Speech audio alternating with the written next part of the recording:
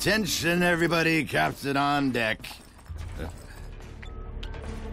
I was following leads on Confederate supply liners. Came out of warp and it was just there. The Ulysses. I'm getting us out of here. Warping to a dark matter field. Try and lay low until. We're not going anywhere. That's the Confederation's prize warbird. General Sarrano will be on board.